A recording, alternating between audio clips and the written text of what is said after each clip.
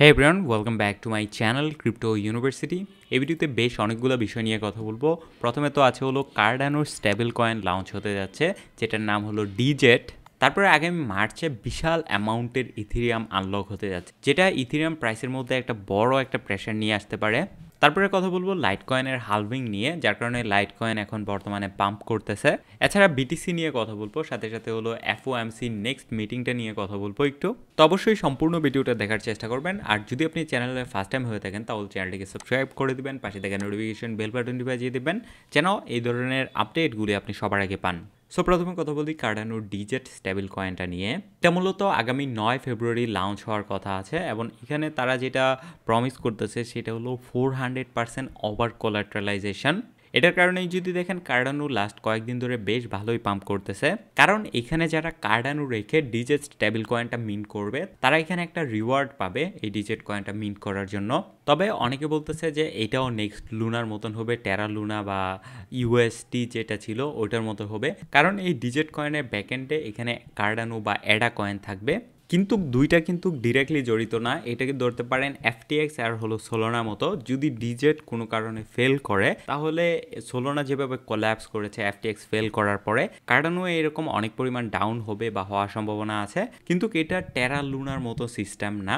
কারণ এখানে কার্ডানোর সাপ্লাই কিন্তু ফিক্সড তো এখান থেকেই যে কার্ডানোগুলো আছে, এই কার্ডানোগুলা কেউ একজন কোলাট্রাল রেখে বা কেউ একজন জমা দিয়ে এই ডিজেট কয়েনটা মিন্ট করতে পারবে। এটা কার্ডানোর জন্য খুবই ইম্পর্ট্যান্ট একটা আপডেট কারণ কার্ডানোর মধ্যে এখন পর্যন্ত তেমন ভালো কোনো স্টেবল কয়েন নাই। যদি ইউএসডিটি বা ইউএসডিসি এইখানে সার্ভিস দিয়ে আসতেছে বাট তাদের নিজস্ব স্ট্যাবিল কয়েন বা তাদের নিজস্ব চেনের মধ্যে কিন্তু তেমন কোনো স্টেবল কয়েন নাই। সো অনেক ইনভেস্টরদের চোখই এখন এই কার্ডানোর ডিজেট প্রজেক্টের মধ্যে আছে। তো লঞ্চ হওয়ার পর এখানে ভালো অ্যামাউন্টের কার্ডানো মার্কেট থেকে বাই করা হবে।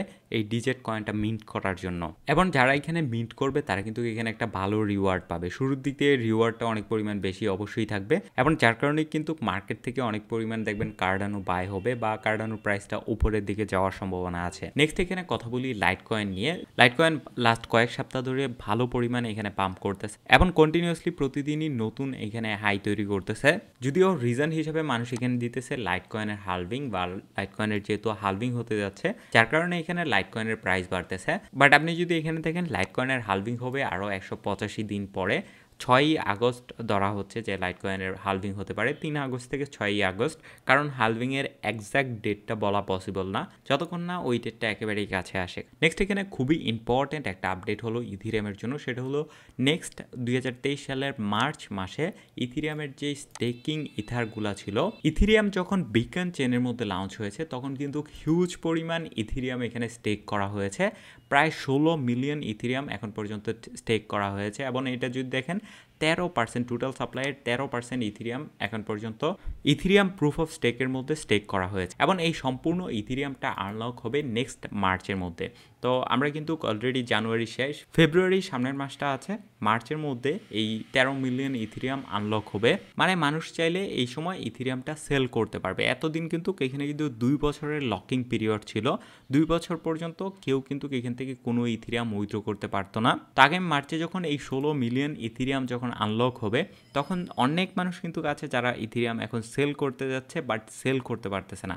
এবং এটা কিন্তু একটা হিউজ নাম্বার যদি দেখেন ষোলো মিলিয়ন ইথিরিয়াম মানে এই নাম্বারটা অ্যারাউন্ড পঁচিশ বিলিয়ন ডলার এবং এখান থেকে যদি এক দুই বিলিয়ন ডলারও এখানে মার্কেটের মধ্যে সেল হয় ইথিরিয়াম এখানে আরেকটা বড় ডাউন দিতে পারে। যদিও এখনও এই ডেটটা অ্যানাউন্সমেন্ট করা হয় নাই যে এক্স্যাক্টলি কবে এখানে এটা রিলিজ করা হবে বাট অবশ্যই রিলিজ করার আগে আশা করি তারা এখানে একটা প্রিপারেশন নিয়ে নেবে যে মার্কেটের মধ্যে ভালো পরিমাণ সেল অফ হবে।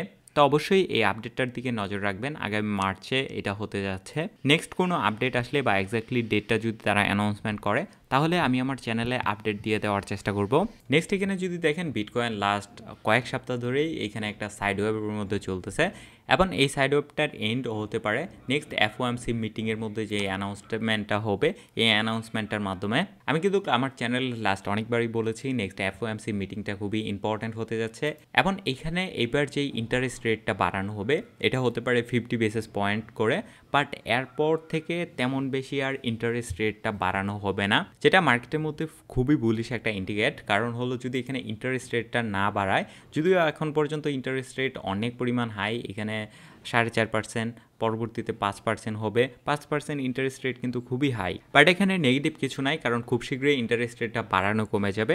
তারপরে এখানে ইন্টারেস্ট রেটটা আস্তে আস্তে কমা শুরু করবে এবং স্টক মার্কেট বা ক্রিপ্টো মার্কেটের মধ্যে ভালো পরিমাণ পাম্প আমরা দেখতে পারব। সো আমি এই কাউন্টডাউনের লিঙ্কটা ভিডিও ডিসক্রিপশনে দিয়ে দিব, আপনারা অবশ্যই নজর রাখবেন এবং এখানে কিন্তু একটা ব্রেকআউট হতে পারে এই এফওএমসি মিটিংয়ের পরে। সো এই ছিল কিছু আপডেট আশা করব আপডেটগুলো আপনাদের কাছে ভালো লেগেছে। যদি ভিডিওটি ভালো লাগে তাহলে ভিডিওতে লাইক দিতে পারেন কমেন্ট করে জানাতে পারেন, আপনার মতামত এবং চ্যানেলটিকে এখনও সাবস্ক্রাইব করে না থাকলে সাবস্ক্রাইব করে দিবেন। পাশে থাকা নোটিফিকেশন বেল বাটনটি বাজিয়ে দেবেন, যেন এই ধরনের আপডেটগুলি আপনি মিস না করেন।